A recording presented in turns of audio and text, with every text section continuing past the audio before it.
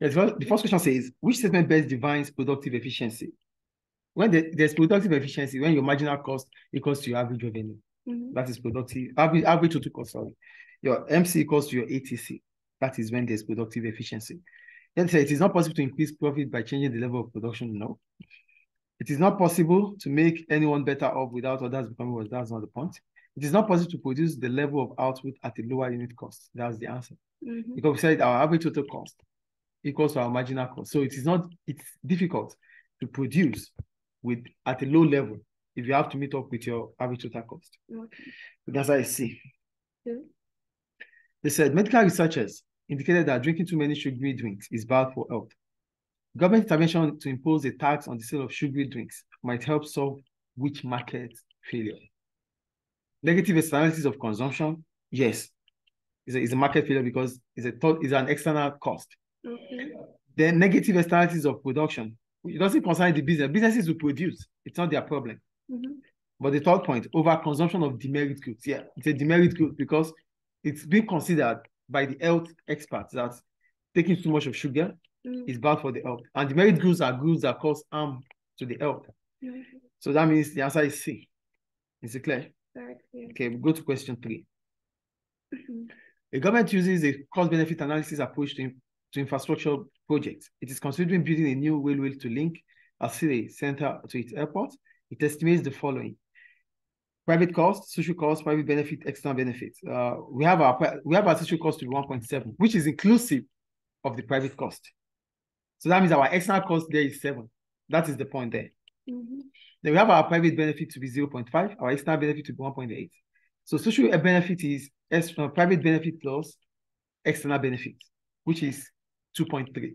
Okay. So 2.3 minus 1.7. So that means our ex- uh, social benefit exceeds our social cost.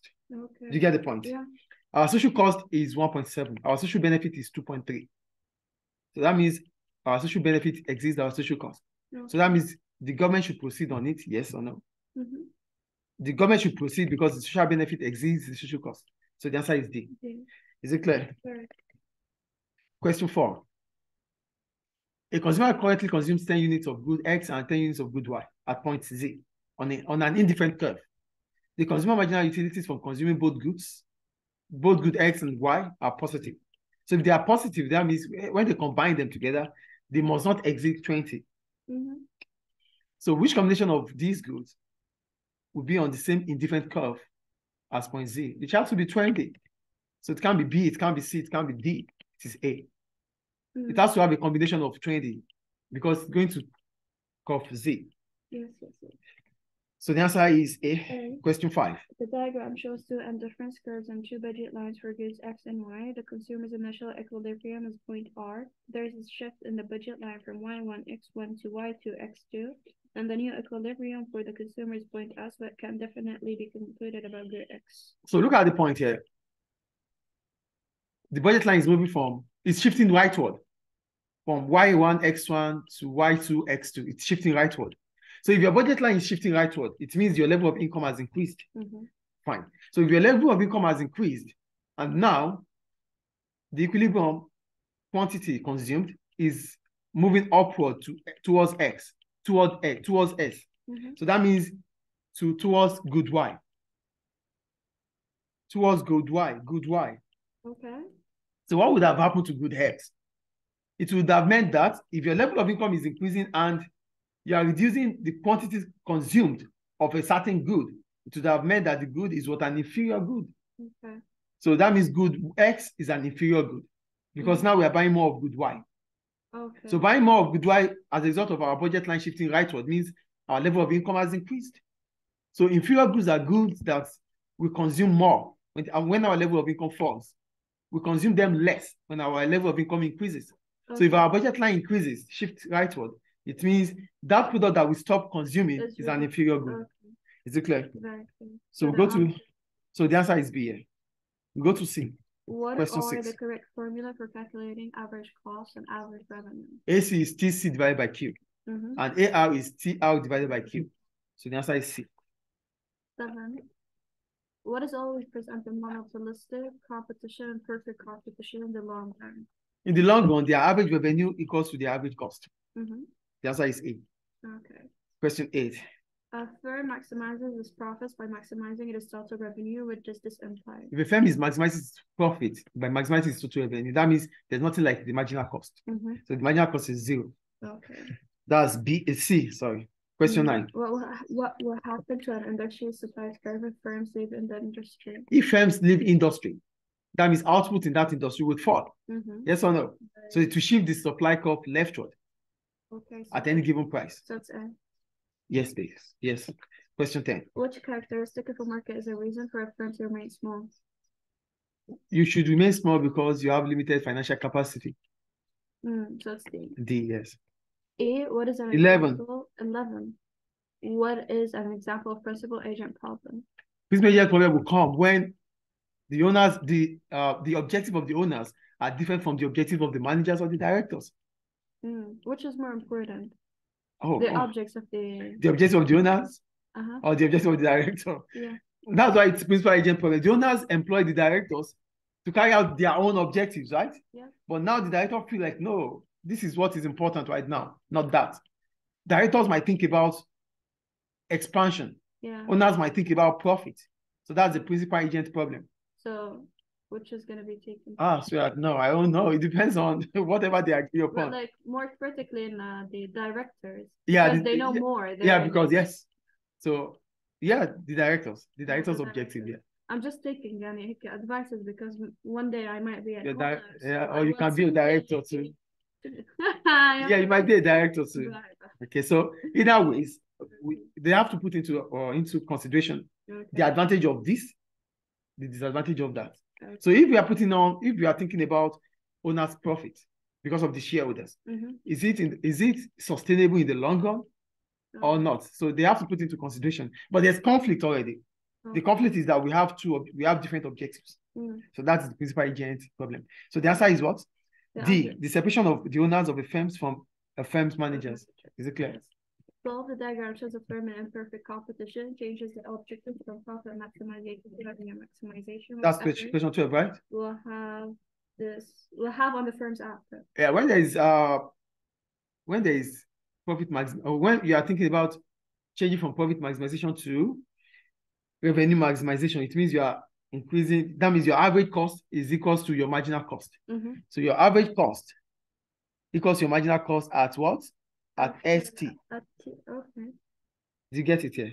yeah. Yeah, at ST. Is it clear? mhm, yeah. S to C. I think it's clear.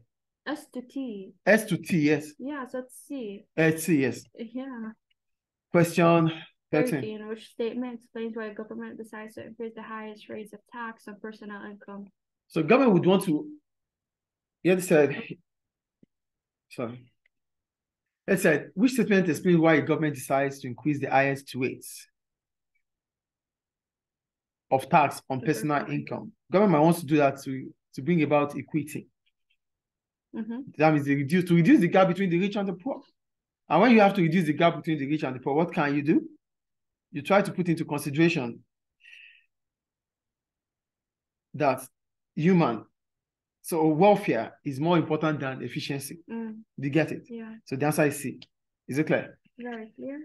Fourteen, in certain countries, benefits are provided to individuals on low income. As their income rises, the benefits are reduced and income tax has to be paid. What can result from this? Poverty. Yeah, poverty trap. And what is poverty trap? That well done. poverty trap means you're an economic system that does not allow you to leave poverty. Yeah. Because here, government is trying to, the problem is that government is trying to take away poverty by what are they trying to do? Government is trying to take away poverty by giving them social benefits. Mm-hmm. But as soon as their income level increases, government starts making them to pay taxes. They're going to go back to poverty. Yeah. Do you get the point? Yes. Government is trying to alleviate poverty by giving them social benefits, right? Mhm, Now that their income level is increasing due to government social benefits, which is mhm. a secondary income. Mhm. But as soon as the government feel that or sees that the level of income is increasing, government starts allowing them to pay income taxes. Yeah. So they're going back to proper, poverty trap. Clear. And poverty trap is what? A system, an economic system that does not allow individuals to live, to escape poverty. Clear. Clear, right? Right, yeah. Fifteen, an economy requires large inputs of steel for its building programs. After political pressure, the government imposes a minimum price on imported foreign steel. When would this intervention to lead economic inefficiency? It will lead to economic inefficiency if competition fall. Mm-hmm. So that's how it's done. Okay. Sixteen, what happens to economic rent and transfer earnings if the supply of labor becomes perfectly inelastic? If supply of labor becomes perfectly inelastic, economic rent will in- increase because economic rent comes from your individual uh, investments. Mhm. But the supply of labor comes with the earnings. Mm, So the earnings will Will reduce. decrease. Yes, Yeah, so yes. Question Seven. 20, right? No, seventeen. 17. Ah, Yeah. We're done with this paper. The 17. Okay, yes. Okay. I'll take it anyway. Uh, the diagram shows the effect of the introduction of a minimum wage in the labor market. When would such a minimum wage would be at least beneficial to workers who are currently employed? We show least beneficial. Yeah. So it means, yeah, the minimum wage is increasing. But if the demand for labor increases in that economy, so it's because, not because the workers are working, it's because there's demand for more workers. Yeah. So firms are willing to employ more workers. Mm. That's why they are willing to pay more. So it's not that the workers are getting any benefit. Do you get the Oh, point? Yes, yes. So yes, those that are working are not going to be beneficial to this, but So- those that they are going to employ will be Will beneficial. be beneficial. So the answer is B. Clear. Okay. Eighteen, which statement about economic growth is not correct? What do you think? Long-term economic growth, they say economic growth creates cost as well as benefit. Yes. Long-term economic growth is measured by calculating the percentage increase in GDP for one year. No, it's they said they said long term. How can it be one year? Yeah. One year is short term. So the answer is B. So we go to question 19. Nineteen, uh, why is real GDP per head felt to be an imperfect measure of welfare in developed economies? For developed economy, they have what we call restricted content, restricted coverage. There are some things we don't know about Mm. them. Yeah. So it's difficult for us to measure to measure the GDP per head with welfare. Mm. So we might talk about using HDI, Human Development Index, yes. But to use GDP per head is difficult because in developed economies, there are some people that are so rich and there are some people that are so poor too. Yeah. Both. So the answer is B. Question Okay. no C, sorry. Restricted scope here. Yeah. C 19 is C. Question 20. What changes are most likely to reduce the level of income inequality in an economy? If the level of income has to reduce in an economy, government has to increase progressive tax and Mhm. reduce indirect tax because indirect tax comes from consumption. Okay. So reducing indirect tax will give will increase purchasing power. Yeah. So that could reduce the gap between the rich and the poor. So it's B, B. yeah, increase Okay. progressive tax. Okay. If government wants to reduce the gap between the rich and the poor, they charge taxes on wealthy people. That is progressive. Mm. Okay. 21. The table gives labor market statistics for Malaysia for January to March 2019. What is the size of Malaysia's labor force? Labor force is the total number of employed and unemployed. Mhm. So 15 million plus 0.5 million, that is 5.5, 15.5 million. So it's B. B, yeah. 22. 22. What would encourage industrial expansion in a region of high unemployment? 22. So what would encourage industrial expansion? Industrial, industrial expansion would encourage, that means what will make firms to Mm. want to uh, to want to increase or expand. This can only be done if wage rate is not a cost for them. So that means there's no there's not like minimum wage rate. D. It's An D. internationally negotiated wage. Yeah, that means an end to nationally uh, no, Mm. negotiation nationally uh, negotiation of wage, Wage. which can be also be classified as minimum wage. Mm. So that means cost firms will decide on what they pay, not government deciding. Yeah. So the answer is D.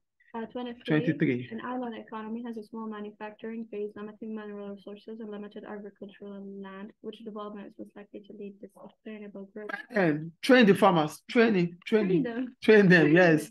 Train them. You see, yeah. I still have some questions. Uh, 24. okay.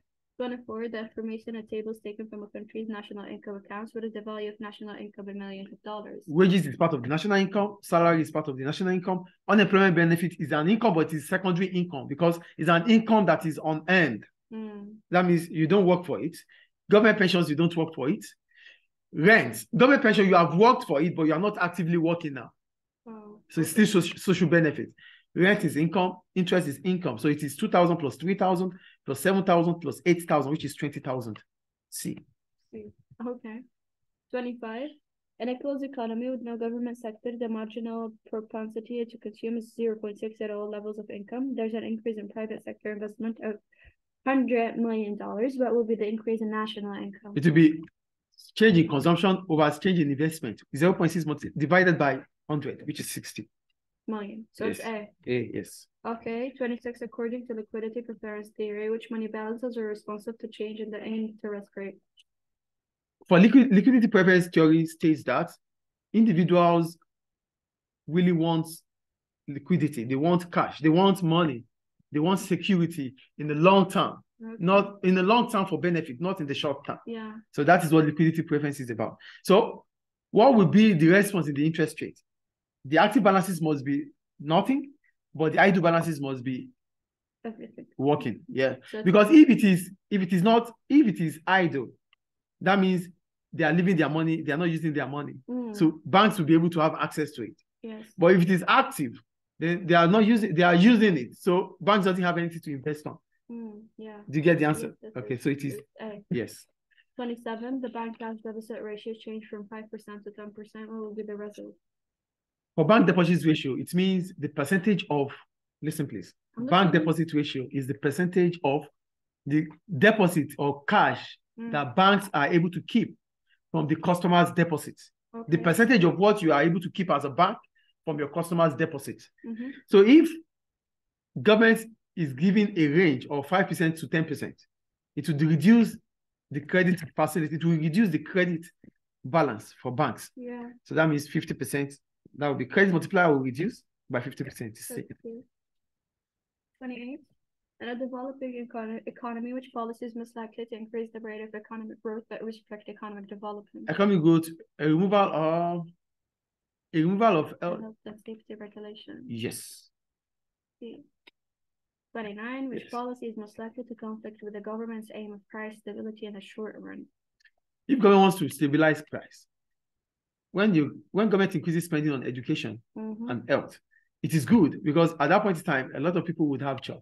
Uh, a lot of people will be educated and be attractive to employment. mhm, So they might be able to get jobs. But if they're able to get jobs, the demand in the economy would increase.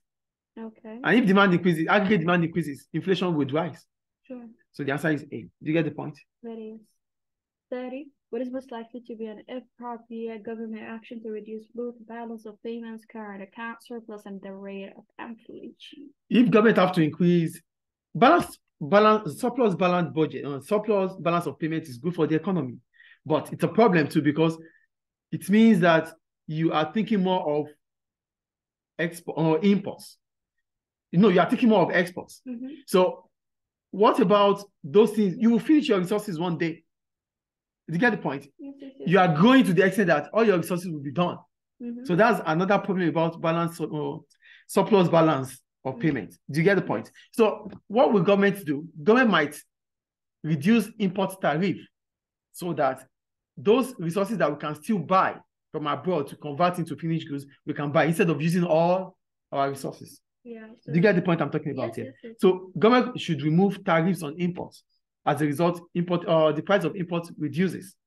Mhm. There won't be inflation. or- There won't be high inflation, and the economy will be able to grow without using all its resources.